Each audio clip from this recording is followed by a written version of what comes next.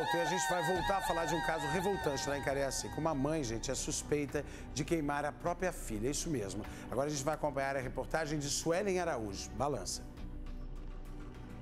A foto não é nítida, mas, segundo este conselheiro tutelar, o ferimento foi provocado na palma da mão de uma criança de apenas 6 anos de idade.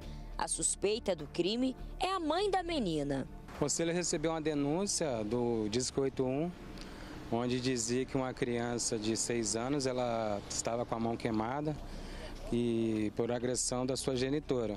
Durante a conversa com os conselheiros, a criança revelou o motivo da agressão. A criança disse que foi porque ela foi pegar comida no armário.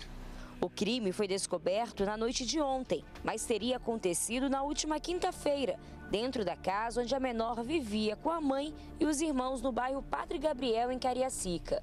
Nesta terça-feira, nós encontramos a mãe da menina agredida. A mulher chorou e disse estar arrependida. Quero minha filha perto de mim. Quero muito minha filha.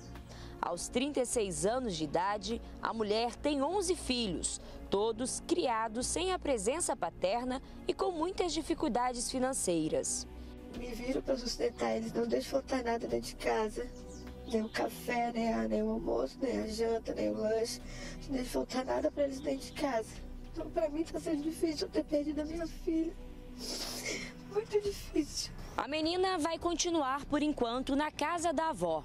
Já a mãe dela vai receber atendimento de uma equipe psicossocial do município de Cariacica. A violência infantil é um crime muitas vezes silencioso, cometido por quem deveria amar, zelar e proteger. Está gritante nos últimos anos, esse ano, os casos de agressões, casos de abuso sexual contra criança e graças à denúncia feita pelo 181 que nós chegamos a, a, a essa criança. Então, assim, da importância da população estar tá denunciando nos canais de denúncia, diz que 181, diz que 100. Enquanto a situação não é resolvida definitivamente, vizinhos da mulher e da criança pedem que a investigação do caso seja rigorosa e justa.